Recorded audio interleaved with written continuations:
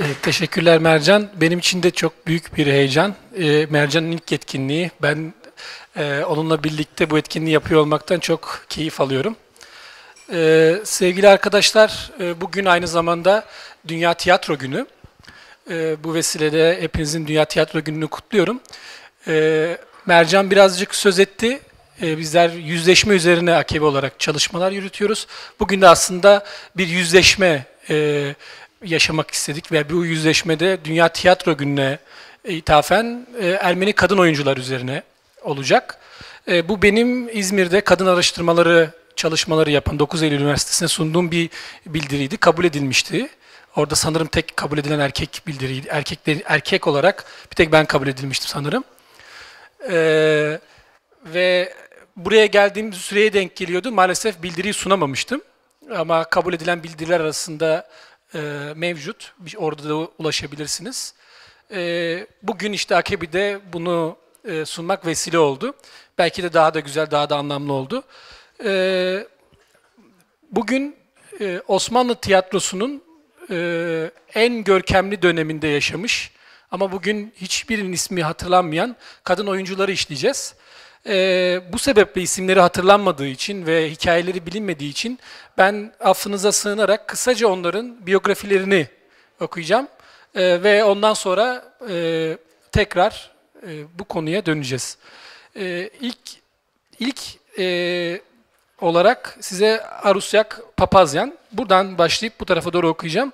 1841 yılında İstanbul Kumkapı'da doğdu. Babası kuyumcu Mesrop, dede, dedesi ise Samatya papazı Mardiros Efendi'ydi. Eğitimini Kumkapı'daki Surp Lusaroviç Okulu'nda büyük bir başarıyla tamamladı. 1857'de okul idaresi tarafından öğretmenliğe getirildi. Bir yıl sonra da o yıllarda Srabiyon Hakimyan ekibinin sahne aldığı Beyoğlu Naum sahnesinde oyunculuk oyunculuğa ilk adımını attı. Ee, Arusyak Papazyan'la başlamak istedim. Ee, şöyle, o dönemde en çok hayranlık duyulan oyunculardan bir tanesi.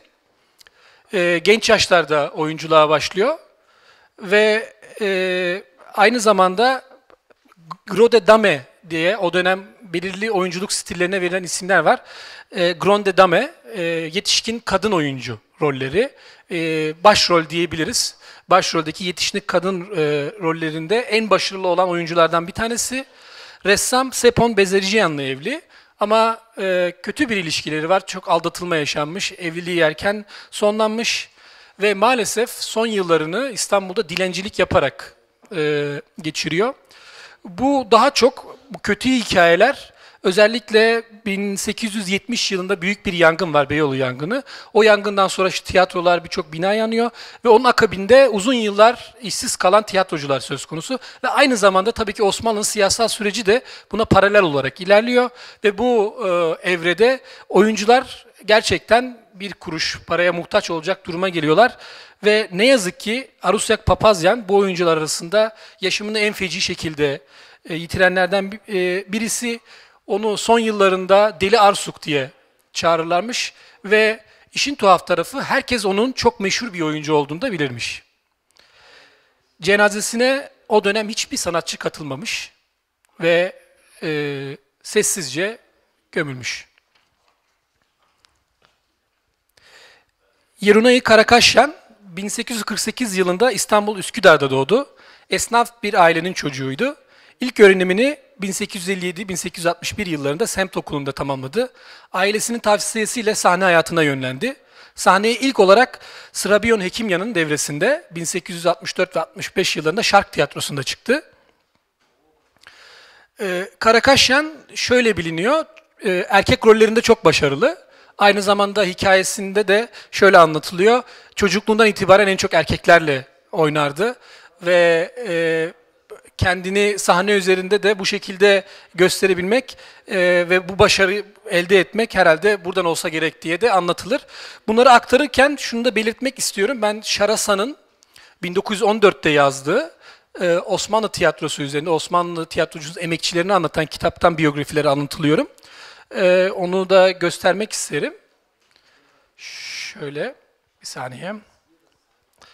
Ee, şu kitap, e, bu fotoğraflar aslında bu kitabın içerisinde 1914 e, yılında basılan bu kitapta Şarasan bir eczaneci ve babasından kalan bir fotoğraf albümünden e, hareketle ya bu tiyatrocuların hayatına merak salıyor ve onların hayatlarını biyografi şeklinde bir kitapta topluyor.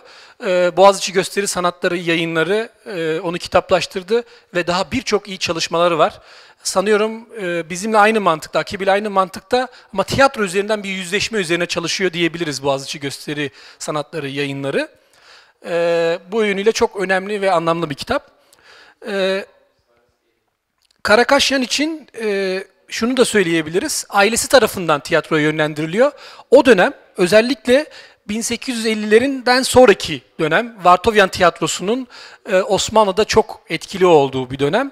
Ona da birazcık değineceğim. E, isimleri şu an hızlıca kullanıyorum. E, o dönemde oyuncu olmak kadınlar için e, aslında bir başarı.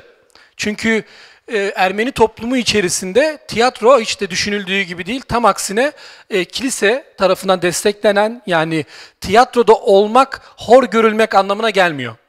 Böyle bir etkisi var ve ailesi onu işte sanıyorum ki başka bir iş yapamaz zaten bu tiyatrocu olur gibi bir mantıkla onu tiyatroya yönlendirmişler ama iyi ki de yönlendirmişler. Zamanın en meşhur yani en çok alkış alan oyuncularından birisi. Marie Nuvart 1853 yılında İstanbul Beyoğlu'nda doğdu. Çok küçük yaşlarda babasını kaybettiğinden çocukluğu büyük bir yoksulluk içinde geçti. Bu şartlar altında eğitimine de fazla önem verilemedi.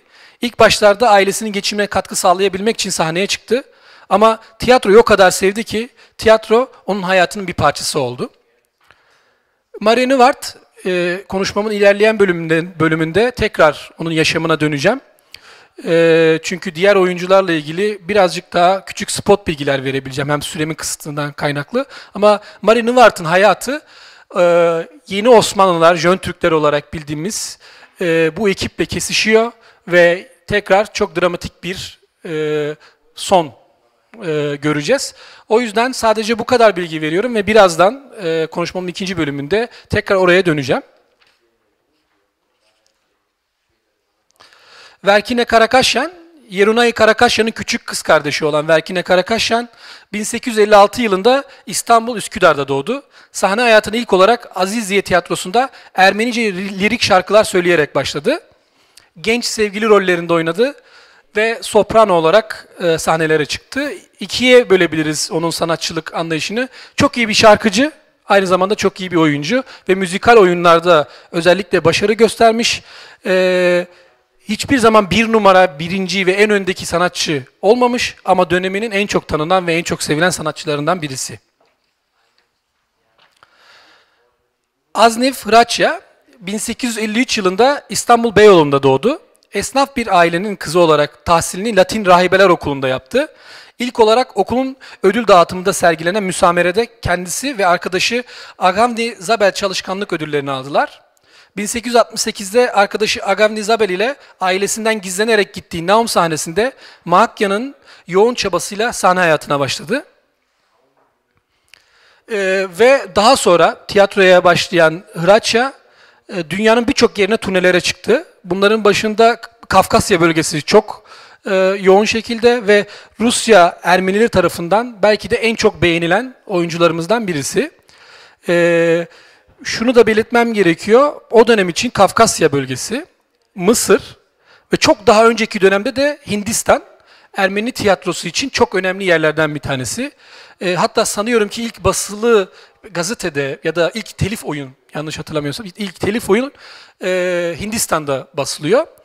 E, ve o dönemde Hindistan değil ama Hraçya diğer bölgelerin birçoğunda turnelere gidebiliyor. Çok başarıyla karşılanıyor. Ve hatta e, Yunanistan'da e, çıktıkları oyunda anlamamalarına rağmen, Türkçeyi bilmemelerine rağmen birçok kişi onun sahne üzerindeki performansından etkilenerek çok büyük övgüler düzüyorlar ve Şarasa'nın aktarımıyla uzun yıllar onun adı hep hafızalarda kalmış. Azdik sahne adı Amber Kantarciyan. Azdik 1852 yılında İstanbul Pera'da doğdu aile çevresinde tertiplenen birçok gösteriye çok küçük yaşlarda büyük bir coşkuyla katıldığından sahne zevki onda erken yaşlarda gelişmeye başladı. Sahne büyüsünü hissettiği için aile engellerine ve toplumsal küçümsemelere rağmen meslek olarak sahne oyunculuğunu seçti. Sahne hayatına 1870-1871'de Gedikpaşa'da Vartovyan yönetiminde işleyen Tiyatroyu Osmani Kumpanyası'nda e, Nirinni rolüyle başladı.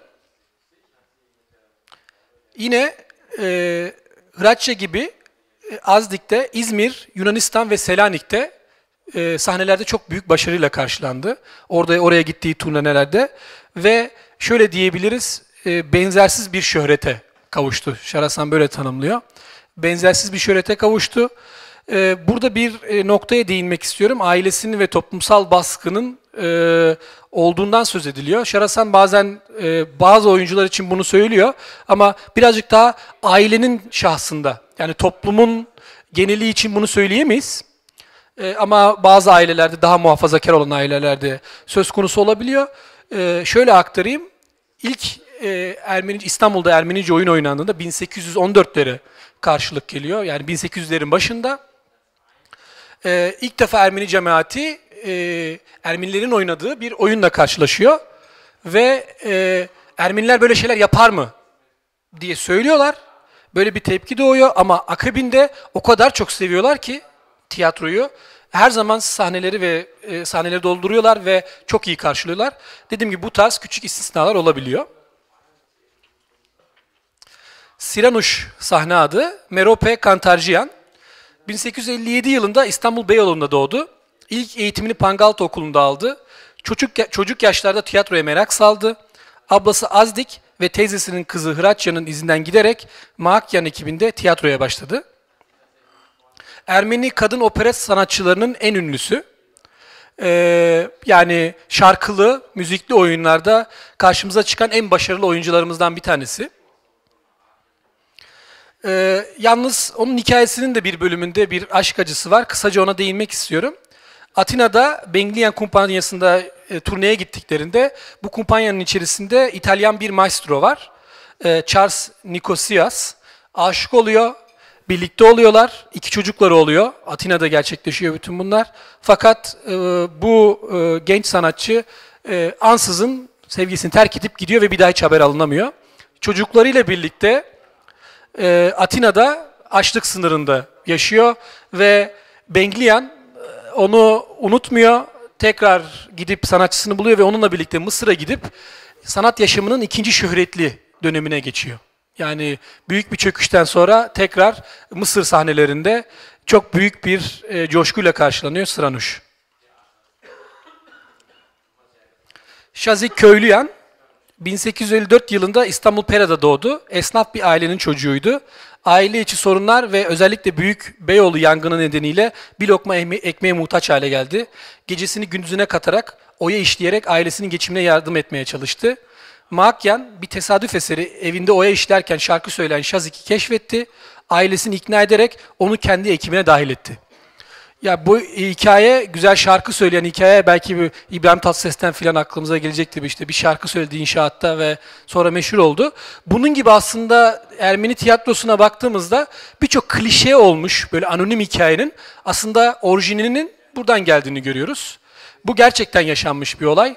Evinde e, Oya işlerken şarkı söylüyor. Muakyen bunu duyuyor ve kapıyı çalıyor cesaret edip.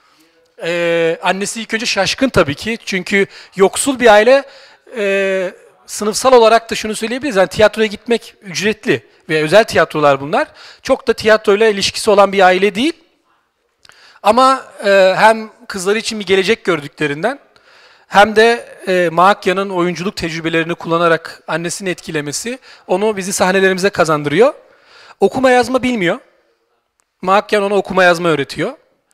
Çok meşhur bir müzisyenden Dikran Çuhacıyan'dan müzik eğitimi alıyor.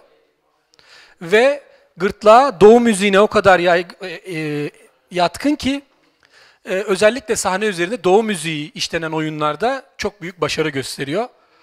E, böyle bir başarı hikayesi. Zabel Hekimyan 1856 yılında İstanbul'da doğdu. Sahne hayatına küçük rollerle başladı. Yeteneği ve çalışkanlığı sayesinde kısa sürede sorumluluk isteyen rollerde görüldü. Henüz 4 aylık bir oyuncuyken Vartomyan'la birlikte Saint Tropez'li kadında başrolü üstlendi. Zabel Ekimyan özellikle Türkler tarafından en çok beğenilen oyunculardan bir tanesi. Sarayda oyunlar oynuyor. Yani o dönem e, saraya özellikle Avrupa'dan misafirler geldiğinde biz de işte Avrupa değerleriyle e, ilgileniyoruz gibi bir imaj vermek için herhalde. E, ancak e, çok talihsiz bir olay yaşıyor ve Almanya ile de bağlantılı onu özellikle belirtmek istiyorum. İkinci Wilhelm e, padişahın konu olarak İstanbul'da ve bir oyun sahneleniyor. Değirmencinin kızı. Oyunda Augusta rolünü oynuyor Hekimyan. Ancak ismi değiştiriyorlar. Alman e, Kaiser'ine bir jest olsun diye. Herhalde küçük görülüyor o, o ismin kullanılıyor oluşu. Hangi isimde olduğunu, hangi isimde oynadığını maalesef ulaşamadım. E, ama şöyle bir durum var. Wilhelm e, Türkçe bilmiyor. Tek bir kelime bile Türkçe bilmiyor. Oyun Türkçe oynanıyor. Oyunun bir yerinde e, bir doğaçlama yapıyor e, Hekimyan ve muradına erdin mi diye bir söz geçiriyor. Ve o muradına erdin mi sözcüğündeki murat sözcüğünü Wilhelm anlıyor. Ve hemen dönüp e, padişaha Abdülhamit'e ya sizin işte Murat kardeşiniz o da tutukluydu onun durumu nedir filan diye dönüp soruyor. Ve e, bunun üzerine Abdülhamit e, hiçbir şey söylemeden lojiyi terk edip çıkıyor ve o gün en küçük, en kötü hasılatını yani bir şekilde bir hediye, bir ikram olarak bir para veriliyor oyunculara. En düşük parayla gönderiliyor. E, fakat e, şunu tabii ki bilmiyoruz. Acaba bu bir dil sürçmesi mi yoksa bir muhalif bir tavır mı? Bunu bilmiyoruz ama ben e, şahsen e, bunun kasıtlı bir şey olduğunu, e, bu sözcüğün orada e, bilerek kullanılmış olabileceği kanaatindeyim. E, çünkü oldukça profesyonel bir oyuncu, özellikle ezberiyle bilinen birisi. Böyle bir hata yapması söz konusu değil. E, böyle kabul etmek istiyorum diyelim.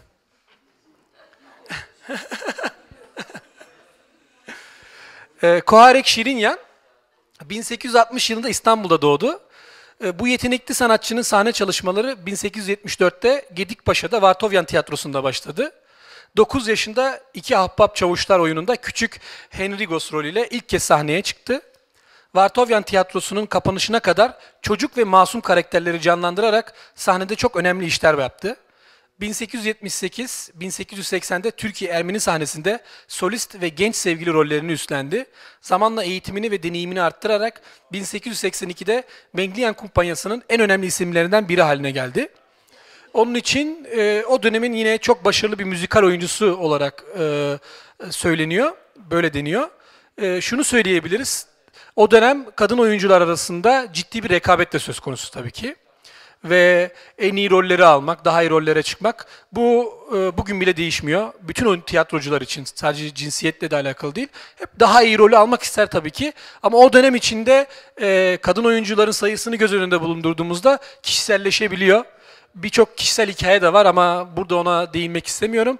Ama bütün bunlara rağmen e, bir nezaket çerçevesinde ilerliyor e, bütün bunlar. Bunlar tatlı birer estetik mücadele gibi kabul edebiliriz e, bu mücadelenin sonunda başarıyla çıkabildiğini söyleyebiliriz e, Şirinya'nın ve e, özellikle kendisini eğiterek, eğitimine kendi başına devam ederek e, çok iyi yerlere gelebildi. E, Kınar 1876 yılında İstanbul'da doğdu. Yoksul bir ailenin kızı olduğundan eğitimine ancak okuma yazma öğrenebileceği düzeye gelene kadar devam edebildi. Uzun yıllar sahnelerimize emek vermiş olan annesi Bercui 1891'de onu kendi elleriyle sahneye yönlendirdi. Fasulyeci Yan, Hiranuş'un ölümünden sonra onun yerini doldurabilmesi için Kınar'ın sanatsal eğitimini üstlendi. Okuma yazma seviyesinde e, e, eğitimi var ancak müthiş bir hafızaya sahip ve e, o dönem hemen hemen her oyuncu suflörle çıkarken yani yandan oyun teksti mırıldanırken e, Kınar hiç suflörsüz sahneye çıkabiliyormuş. Herhalde bu okumadaki eksikliğini özellikle ezber e, yaparak e, gidermeye çalışmış. Bulgaristan ve Romanya'da oyunlar oynamış ve buralarda çok büyük başarılar elde edebilmiş. Kınar'ın yine Türkiye tiyatrosu tarihinde başka önemli bir noktası var. Onu da birazdan değineceğim. Ee, ilk Müslüman kadın Türk oyuncu Affe Jale'nin e, sahne aldığı gün polis baskınında onun e, kaçıp kurtulmasını sağlayan Kınar Hanım. Aynı zamanda bugün bahsi geçen oyuncumuz. Meryem Dizekyan sahne hayatına Şark Tiyatrosu'nda ve Naum sahnesinde başladı. İlk yıllarda ekipler arasında kapan elinde kalmıştır. Çünkü kadın oyuncu bulabilmek için oldukça zorluk çekiyorlardı. Bu nedenle birkaç önemli başrol oynamıştır. Sahne hayatının büyük bölümünü Vartovyan Tiyatrosu'nda geçirdi. Yaşlı kadın ve anne rollerinde oynuyor. Ancak ne yazık ki e, çok erken yaşlarda tiyatroyu bırakıyor ve aile yaşamına e, yönleniyor. Bistos Araxia 1867-68 e, yılında Sirabiona Hekimyan kumpanyasıyla ilk kez sahneye çıkmıştır. Orada kısa bir süre çalıştıktan sonra ayrılmış ve terzilik yapmaya başlamıştır. Fakat iki yıl sonra tekrar sahneye dönmüştür. Sanat hayatının büyük bölümünü Vartovyan Tiyatrosu'nda geçirmiştir. Yine oldukça rekabetli bir ortamın içerisinde e, yaşamış Araxia. E, çoğu zaman biraz daha pasif bir kişiliğe sahip. Yani çok fazla e, mücadele edememiş. Bu yönüyle Şarasan onun daha güçlü olabileceği iddiasında ama nasıl olabilir bilmiyorum tabii ki. Ancak bütün zorluklara rağmen kendi yeteneği onu sahne üzerinde tutmayı başarmış. E, ama e, şunu söyleyebiliriz. E, başta söylemiştim. Yoksulluk içinde ölen Deri Arsuk diye bir oyuncumuz vardı. Öyle anılıyordu. E, Araksia'nın nasıl sonuçlandığını bilmediğim bir hikayesi var ama sonunu biliyoruz, finalini biliyoruz. Henüz 30 yaşında İstanbul'da çıldırarak yaşamını yitiriyor. Ee, böyle bir bilgi var sadece ama nasıl olduğu, buna ilişkin e, bir bilgiye ne yazık ki ulaşamıyoruz. Ama konuşmam yine ikinci bölümünde tahminlerimi yine söyleyeceğim bununla ilgili olarak. Agavni Zabel, Bistos Araksia'nın küçük kız kardeşidir. Ablası ile aynı zamanda sahneye çıkmış. Vartovyan, Bengliyan ve Mınakya'nın topluluklarında çalışmıştır. Başarı için çok çalışmış ama maalesef ne yazık ki çok beğenilememiş bir oyuncumuz. Ee, ve sahne hayatını o da erken bırakmış. Teresa Çuhacıyan, e, burada fotoğrafı yok. E, sadece elimizde e, bir resmi var, çizilmiş bir resmi. Yine Şarasa'nın kitabında yer alıyor. Sonra ben buraya bırakacağım daha yakından da bakabiliriz. Sadece elimize ulaşan bu resim. Ee, ilk kez e, 1871 yılında Aziziye Tiyatrosu'na sahneye çıkmıştır. Sahne hayatı Vartovyan Tiyatrosu'nda geçmiştir. İyi insan ve anne rollerinde görünmüştür. Ve sahne hayatından erken ayrılmıştır. Annik Çuacıyan, kız kardeşi Teresa ile aynı zamanda sahneye çıkmıştır akıcı ve temiz konuşabilme yeteneği olan Annik Çuacıyan e, genç kadın rollerinde çok başarılı olmuştur. Çok iyi bir şarkıcı ve dansçı olarak hatırlanmıştır. Aznif 1866 yılında İstanbul'da doğdu. Sahne hayatına 1885'te Mınakken yönetimindeki Şehzadebaşı Tiyatrosu'nda başladı. Çok genç yaşlarda sorumluluk isteyen büyük roller üstlendi. Acımasız ve kendini beğenmiş rollerinde çok büyük ün kazanmıştır. Ee, yaşamına ilişkin çok büyük bilgimiz yok ancak e, Şarasa'nın aktardıklarından bu kadarını bilebiliyoruz. Ee, en azından e, anlatacağımız oyuncular hakkında, kadın oyuncular hakkında bir bilgimiz olsun diye konuşmamın birinci bölümünü böyle geçirmek zorunda kaldım. Çünkü e, ben de ilk okuduk, okuduğum ana kadar birçok oyuncunun ismini bilmiyordum. Böyle bir zorunluluk doğuyor. Ee,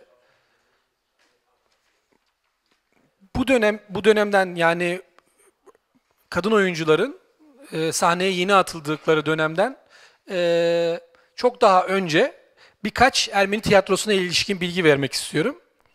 Elimizdeki kesin kayıtlara göre Ermenice gerçek anlamda ilk tiyatro gösterisi 9 Nisan 1668'de Almanların Lemberg dediği bölgede yapılıyor.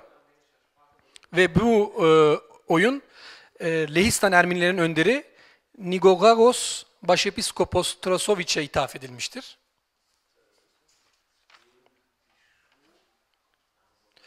Ee, ve daha sonra uzun bir aradan sonra 1760 yılında Venedik'te San Lazzora diye bir ada var. Bugün bile hala daha o adanın e, girişinde bir sanıyorum Osmanlı bayrağı e, dalgalanıyor.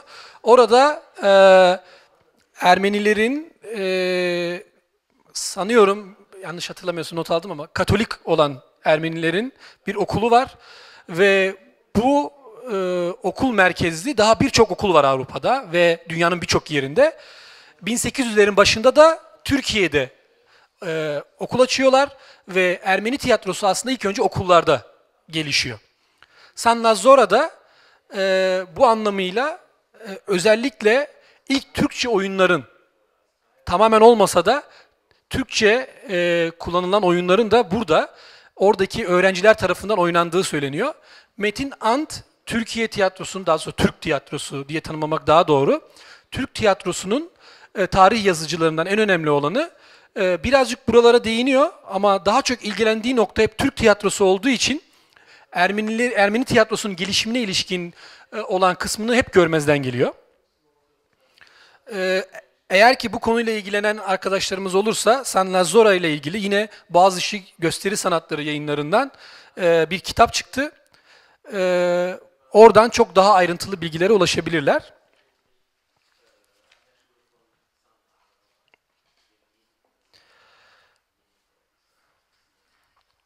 Evet, bu kadar tarihsel bilginin sonrasında e, şunu söylemek istiyorum. E, çok önemli bir dönemde yaşamış, çok ünlü e, kadın oyuncular. Ancak bugün maalesef isimleri bile hatırlanmıyor. Eğer ki Müslüman Türk oyuncular olsaydı, şuna emin olabilirsiniz, hepsinin adına birer cadde, hepsinin adına birer sahne olacaktı. Hepsinin itibarı iade edilecekti. Ve e, muhteşem belki şekilde hatırlayacaktık isimlerini. Bugün konuşmamın birinci bölümünü buna ayırmak zorunda kalmayacaktım. Ee, Türkiye tiyatrosunda e, Türk bölümünde, yani Türk tiyatrosu olarak geçen bölümünde ilk kadın oyuncu olarak Afife Jale ismi anılır. Çünkü Müslüman Türk kadın oyuncudur. Ancak, e, buradaki e, temel nokta Müslüman olmasıdır. Türk olması değil aslında.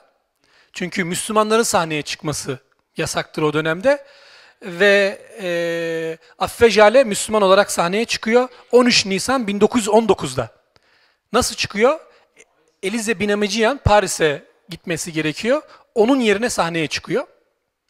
Aslında bu rol değiştirme sanıyorum buradan bu günümüzden baktığında çok enteresan bir şeye de karşılık geliyor.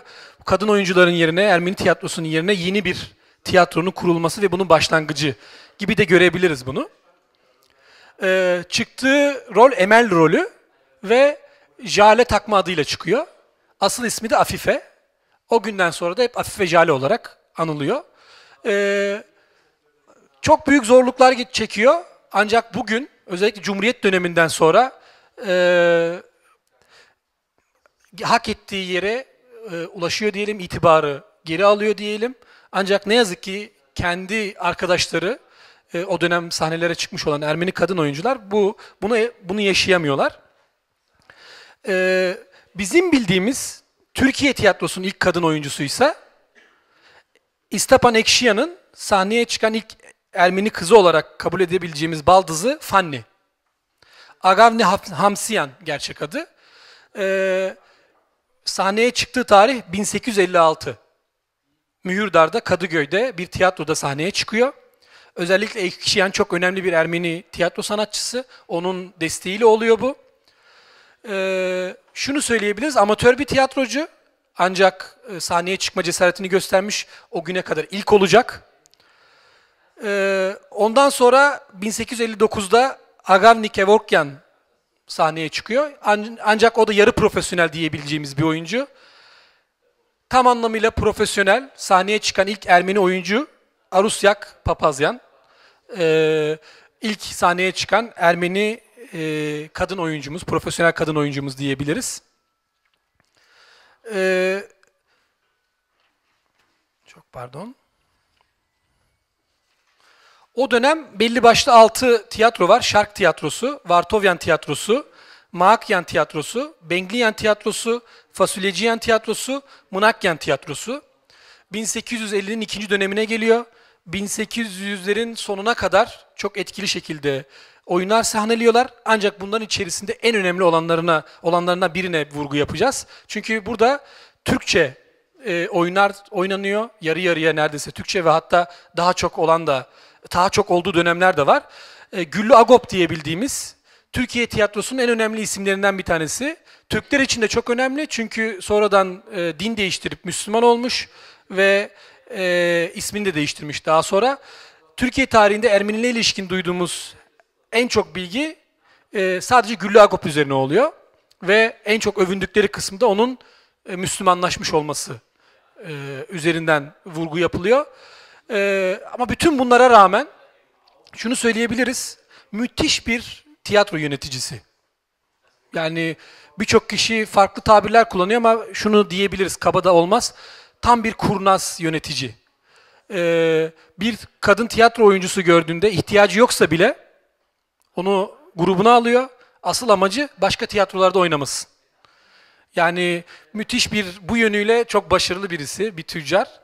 Ee, sanat yeteneği konusunda çok büyük şeyler söyleyemeyeceğim. Yani ortalama bir sanatçı ancak çok iyi bir yönetici.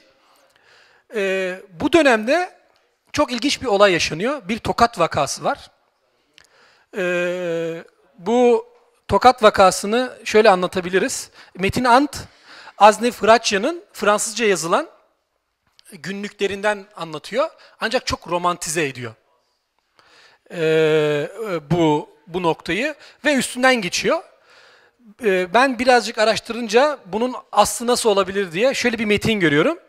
Ee, Karnik Stefanya'nın anlatımıyla e, metnin tamamını okumayacağım ama şöyle Avrupa'da eğitim almış genç e, Türkler sadece orada tiyatrolara ve operetlere gitmiyorlar. Genel evlere ve yeraltı dünyasına da iyice karışıyorlar. Ve Türkiye'ye döndüklerinde özellikle e, Türkiye'ye döndüklerinde e, özellikle kulislerde makyajlı ve cesur Ermeni oyuncularını gördüklerinde e, onlarla e, çok daha yakın ve laçka diyebileceğimiz ilişki içerisine, ilişkiler içerisine girmeye çalışıyorlar. E, bunun e, sonucu olarak bir gün rejisör Maakyan Ali Bey adında e, sansür için orada bulunan ama aslında diksiyon için bulunduğu söylenen bir sansür kurulunun e, üyesi e, bir tokatla e, cezalandırılıyor. Ve sebebi şu e, daha önce ölmüş olan çok önemli ve konuşmanın başında söylediğim e, Marie Nuvart'ın e, yaşadıklarından da etkilenerek e, başka bir oyuncunun başına kötü şeyler gelmesin diye e, paşa e, şeyinde, rütbesinde ve çok etkili o dönem Osmanlı'dan bir yöneticiye böyle bir şey yapmak çok zor bir şey. Ama bütün her şeyi göze alarak bir tokat atıyor ve e, yanına oyuncumuz Asne Hıraçi'yi de alıp sahneyi terk ediyor. Özellikle Ermeni dili, Ermeni dilinde oyunlar üzerinde en başarılı rejisörlerden bir tanesi. E, bu tokatı niye atıyor? Dediğim gibi Marie Nuvart'ın yaşadıkları üzerinden. Ee, şöyle, e, Marie Nuvart o dönem e, Şemsettin Sami ile bir aşk ilişkisi yaşıyor. E, bu ilişki dedikodular, dedikodularla e, tiyatronun dışına da taşıyor. E, Şemsettin Sami genç Osmanlılar yani Jön Türklerin doğrudan içinde olmasa da dışında da olmayan bir isim. Bir dil bilimci, başarılı oyunları da var. O dönem için başarılı diyebileceğimiz oyunları da var. Ancak evli ve çocukları var. Ee, bu tiyatroya gidip gelirken kendi kimliklerini verdikleri egemen güçle de e, bir şekilde Marie Nuvart'ı etkilemeyi başarıyor. Ve e, ne yazık ki Marie Nuvart e, bu sebeple yaşamını yitiriyor. Sebebi şu, hamile kalıyor. Ancak bunu arkadaşlarından gizliyor. Çünkü evli bir erkekten hamile kalıyor. Ee, çocuğu aldırabilmek için o dönem için olabilecek e, teknik imkanlarla sanırım ilaçlar alıyor. Ancak bir gün sahneye çıktığında aldığı ilaçların da etkisiyle rolünü bitirdiği anda yani Şarasa'nın aktarımıyla sahne üzerinde oynadığı karakter ölüyor ve aynı anda o da ölüyor, yaşamını yitiriyor ve bir daha e, kalkamıyor. Ölüm sebebi o hamile kaldı ve doğurmak istemediği çocuğundan e, kurtulabilmek için aldığı ilaçlar olduğu söyleniyor. 6000'e yakın kişi mezarına e, geliyor. Çok coşkulu bir cenaze töreni var. Ancak bütün Türk gazetelerinde iğneleyici yazılar var. Bir tek Ahmet e, Mithat e, o dönemde tiyatroyla da çok yakından ilgilenen bir isim. E, o bir dergide onun hak edeceği şekilde bir yazı kaleme alıyor. Ancak e, şunu söyleyebiliriz, yani başlıkları gözümün önüne getiriyor gibiyim. E, o dönem için sahnelere çıkan bu cesur Ermeni kadın oyuncuların e, yaşadıkları bu bir özet olarak gösteriyor. Ötekinin ötekisi olarak e, yaşamak zorundalar. Çünkü Ermeniler, ötekiler, bir toplumun, Osmanlı toplumunun ötekisiler. Ve o toplumun içerisinde de kadın olarak bir öteki kimlik daha var. Ee, ve onlar Müslüman olmadıkları için o, o dönemin egemen erkek anlayışında dilediğini yapabileceğin bir pozisyondalar.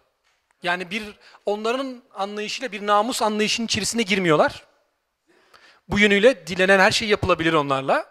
Böyle bir bakış açısına sahipler.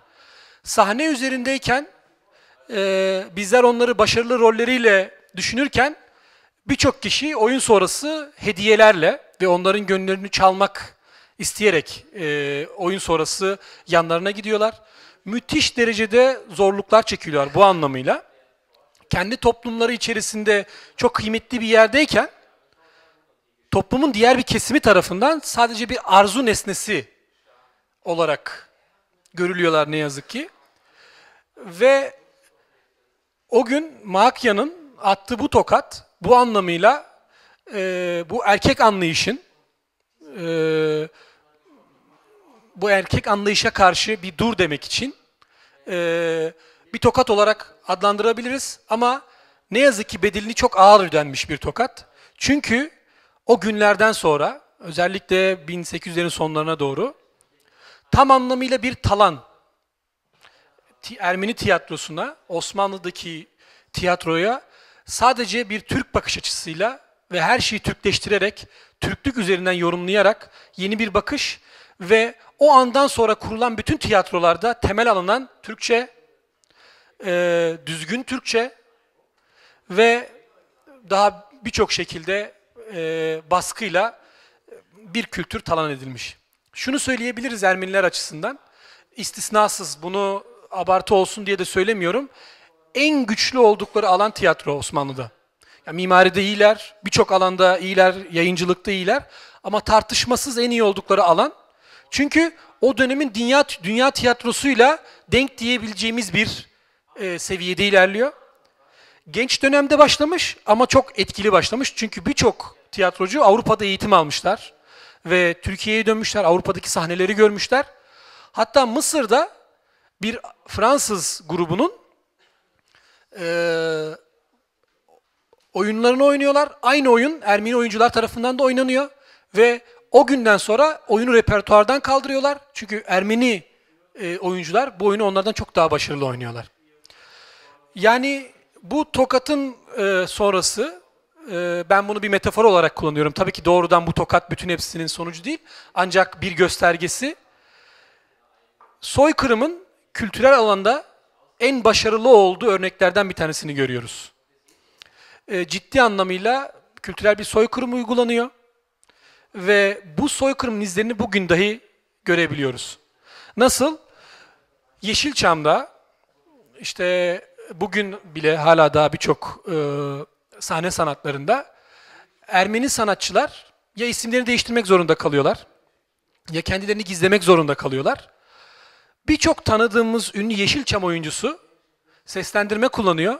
Bunun sebebi bu mu değil mi bilmiyorum. Ancak seslendirme kullandıklarında biz anlayamıyoruz ama hepsinde Ermeni aksanı var. Özellikle geç dönem Yeşilçam oyuncularında, Ermeni oyuncularda çok belirgin derecede bir aksan var. Ee, biz dublajlar olduğu için maalesef bu aksanları da göremiyoruz. Ee, ve sadece birkaç istisnai örnek dışında işte Adile Naşit gibi çok önemli oyuncular dışında ne yazık ki diğer emek vermiş Ermeni oyuncuların isimlerini bilemiyoruz.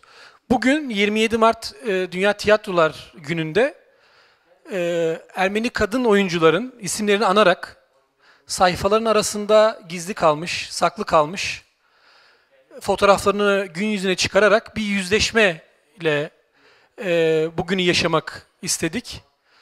E, açıkçası konuşmamız bittikten sonra yani sorulardan da sonra bir kez daha bu gözle onların o küçük hikayelerini ve fotoğraflarını da bakarak e, belki de e, onların yaşadığı döneme düşünsel bir yolculuk yapıp onlara kendi kalbimizde ve yüreğimizde hak ettikleri itibarı ve coşkuyu veririz.